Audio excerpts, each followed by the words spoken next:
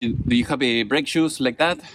And you you cannot take it out. I'm going to teach you how you can do it in very in few minutes. In this case, I'm using a I have a Ford Focus, as you can see, 2000. So we are in 22, 22 years old, and I think they never changed it.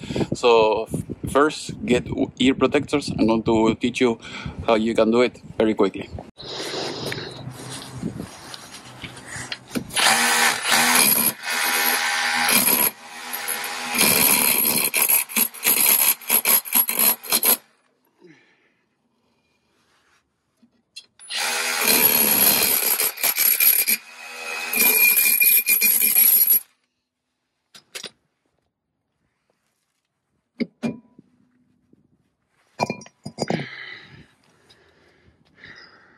All right, so you're going to need a roto hammer drill. So you put it uh, like that.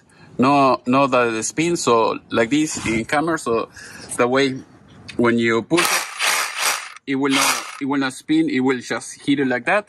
And as you can see, it works just fine. I was trying to hit it with the hammer, trying to pry it, and it wasn't working. So now uh, we will make another video maybe about this. But that's it for now. Hopefully this video was useful, and see you next time. If you're having some issues removing this, some of these uh, drums, you have the hole here and here. You put the screw, you screw it, you screw it, you screw it in, and then it will pop out otherwise there is another tool that you can put it just uh, like here and then you hold it like that to work on the on the body to make a, a sliding a hammer. That is how they call it. And then you do that and then you can remove it very quickly